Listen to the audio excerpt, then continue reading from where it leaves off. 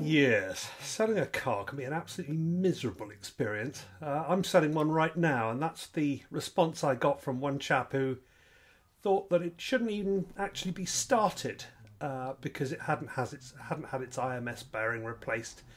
So I thought it was time we talked about the IMS bearing and just separated the bullshit from you know the facts that are out there. And actually there aren't too many facts out there. It's difficult to gauge the size of the problem.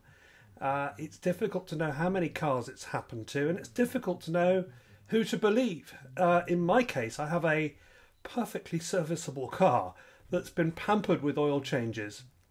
And yet uh, to some people it's like having bubonic plague.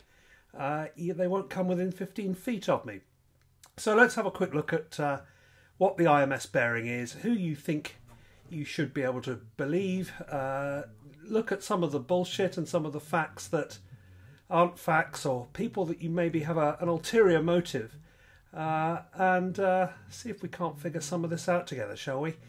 Uh, but firstly, let's have a look at what the IMS bearing is and what it does and where it sits and what the issue is.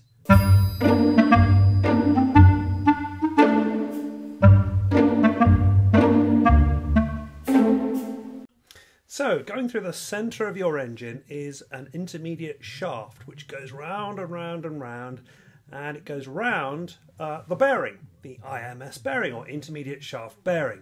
Now, off that intermediate shaft, the crankshaft is driven by the camshaft by chains. It's got chains going off it, so it spins and it spins these chains. Now, if the bearing uh, destructs, self destructs, or uh, whatever happens to it, the bearings within that are metal, and metal goes everywhere, and your engine grenades. It's as simple as that. Uh, that's how it works. Now, the theory behind all this was that it's supposed to make the chains last longer. Um, but effectively, there is a little weakness in this uh, IMS bearing that sits in the middle of it. Now, the bearing came in three varieties um, over the course of the 996 and the early 997. The early 996s up to 2000 had a dual row bearing, which shared the load more effectively. The ones after 2000 and up to about 2006, so including some of the very early uh, 997s, had uh, single row bearings. And then the latter uh, 997s, they amended them again further, and though there's virtually, it's unheard of for any later and even early 997s to really have any problem.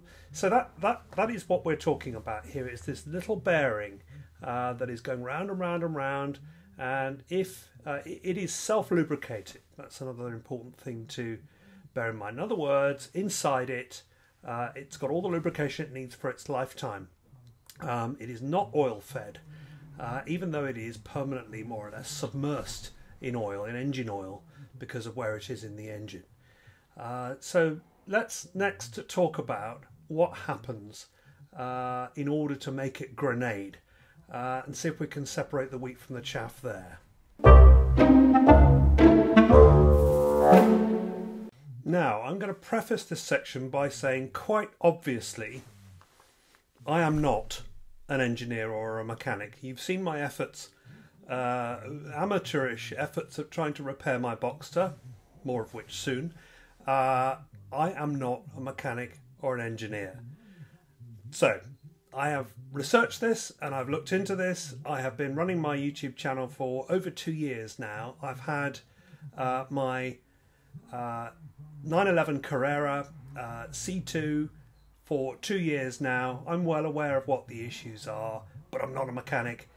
And part of the problem is you should be careful about who you listen to, but we'll get to that in a moment. So, how do these things blow up in the first place? The truth is, as far as I can tell, I'm not a mechanic. You know, that in the comments below, you're going to get about a million mechanics telling me, "Oh, you're wrong," "Oh, you don't know what you're talking about." I'm an expert. You're not an expert, and it's a nightmare to know who to believe. But as far as I can tell, there is nobody that really knows what what happens here, or it's a combination of things.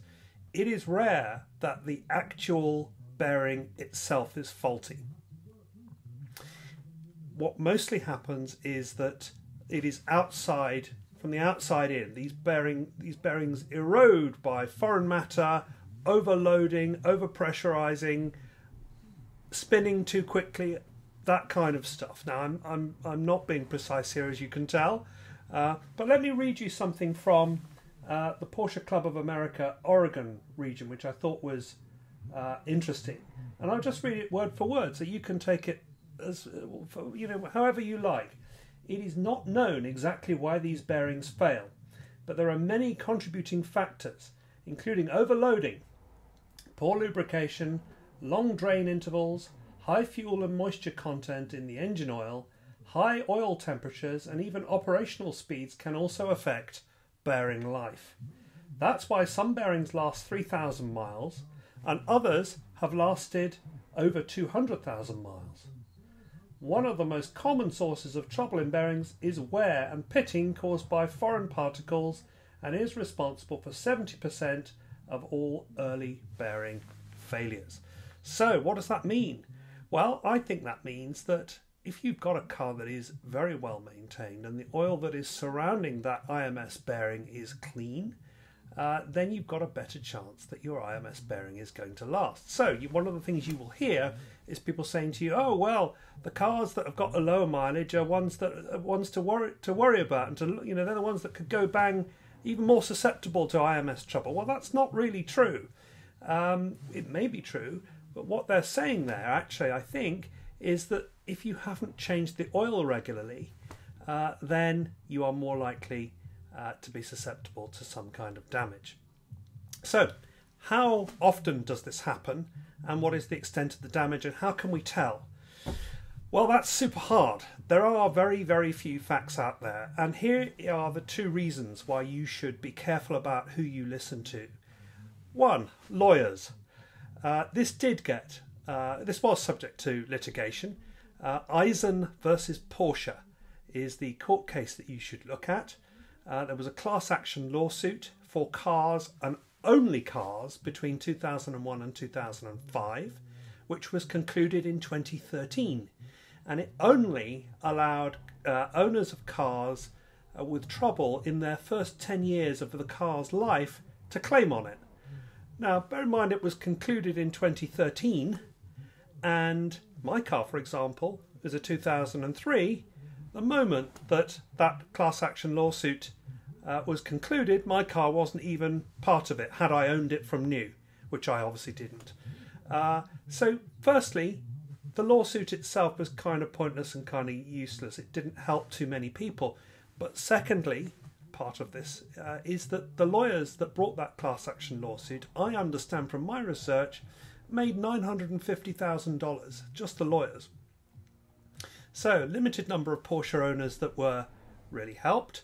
Um, but as part of the discovery of that court case, the lawyers in that court case take them for what you know. If you want to believe a lawyer who's making nine hundred and fifty thousand dollars, it's up to you. Might be right, might not be. But the stats that came out of that was that the early cars, the pre two thousands, uh, less than, or I think the phrase was significantly less than, one percent of cars were affected. The cars that were subject to the lawsuit, uh, which I think is 2001 to 2005, and remember this is not the Mezger engine GT3s turbos because they're a different engine completely. So it's the Carreras, Carrera 4Ss, um, 8%, they say. Now, those, those are the first set of people that I would be very careful about listening to uh, because they have an ulterior motive, right? Uh, they have some stats. Uh, inevitably, those people are trying to make a case against Porsche, uh, and Porsche settled. Uh, it didn't come to court, so you can make a, you know a case for saying how rigorously was this information tested and probed. Now, the fact that Porsche settled recognised that there was a problem, and there is a problem, uh, but is it really eight percent of cars? Don't know. Don't know. Don't know. Secondly, you will find another batch of people who are out there to sell you something. Now, that's not to say they haven't got good products. They do have very good products. And in fact, in my opinion, the only way to solve this problem is by one of those products, which is to have an oil fed bearing. So, regardless of whether um, you know, the bearing comes apart, in fact, in this case, it can't come apart. Um, the oil is continuously being fed. It takes a little bit of oil uh, from the from the engine oil uh, and routes it directly to the bearing, so it's continuously fed by oil. So and there are no spinning metal parts uh, in there, spinning you know little boil, uh, bear, uh, ball bearings in there that are going to go in your engine and blow up. But the person that sells you a solution is motivated to do so by money. So take it with a pinch of salt as to whether this is likely to happen to you. They will tell you that it happens a lot. And of course, they're right as far as they are concerned because they are there fixing that problem, providing engines for grenaded uh, 996 engines. That's all they see, that's what they work on. Um, but they are skilled engineers, uh, they do know what they're talking about, uh, and they will sell you some good products. Uh, but, as I say, they're motivated in a way that allows them to make money. So, more power to them. Um, but for us people who are selling cars and buying cars, take it with a pinch of salt.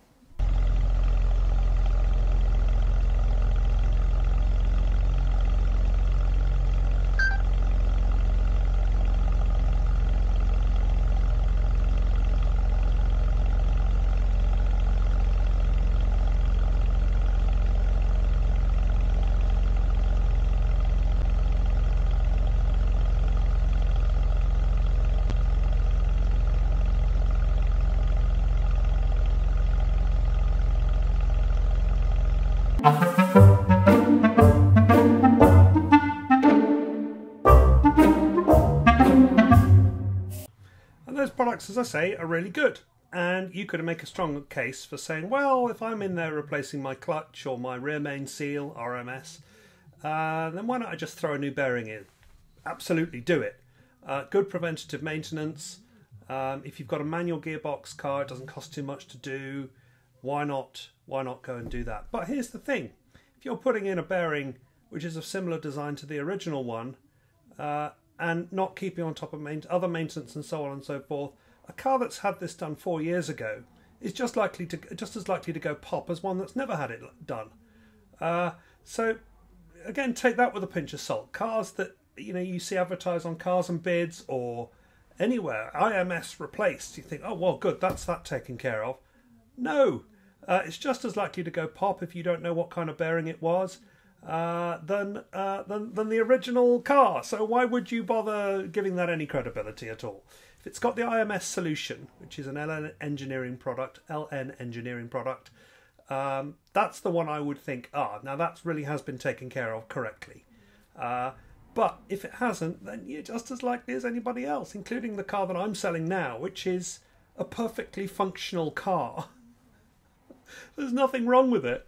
Um, but people won't, uh, some people are saying that it shouldn't even be started uh, because it hasn't had its IMS bearing changed. C- clearly, completely complete nonsense. So, uh, you've got a car that is now. I've got a car that is now 19 years old.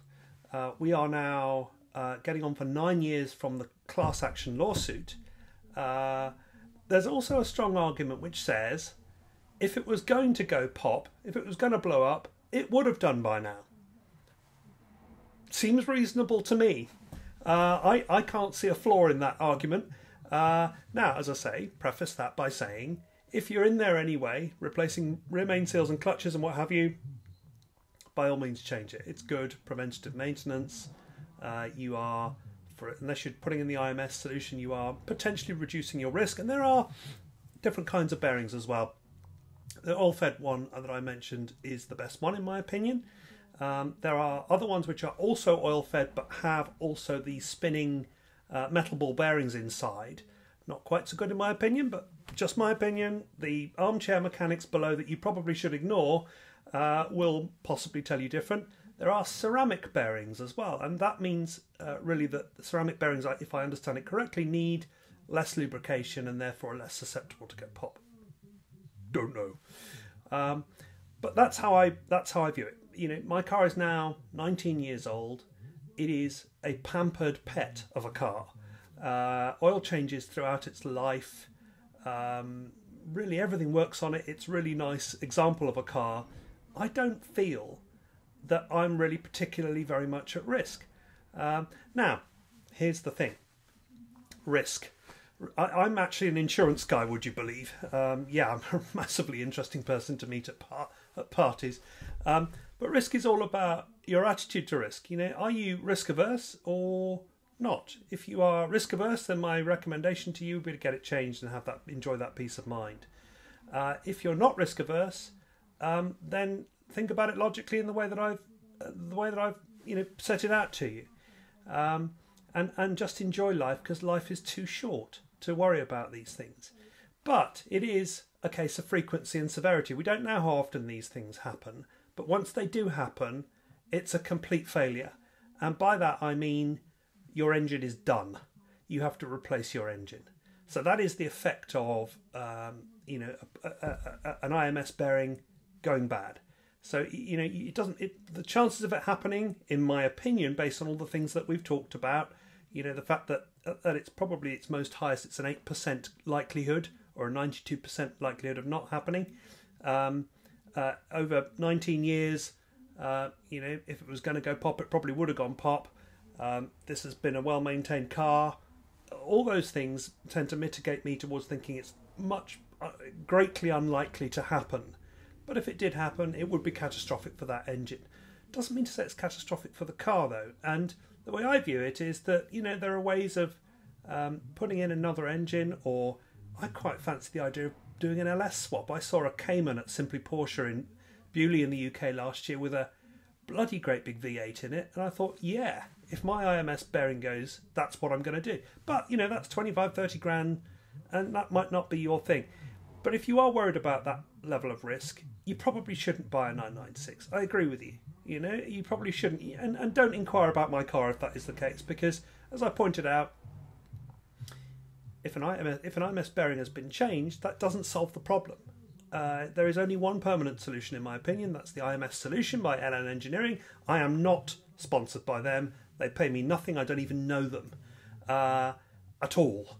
Uh, but that's just my opinion. Anyway, I hope that gives you some information on which to base your decisions with the IMS bearing and the M96 engine, M97 engine, uh, although the M97 hugely unlikely to go pop uh, by virtue of the IMS issue. Um, come and buy my car. You'll love it. There is no other reason not to get into a, a 996. They are wonderful cars to drive. Uh, super performance, faster than any 911 that came before it in Carrera form, by some margin, uh, I should say. They make a wonderful noise, they're easy to use, they're sporting. They look great, in my opinion. I think the looks have really come into themselves. All this nonsense about oh, it doesn't hasn't got the bug-eyed the bug-eyed uh, front lights. Who cares? It's a Porsche 911. Enjoy it for what it is. Thanks for listening, friends. I will see you in the next one.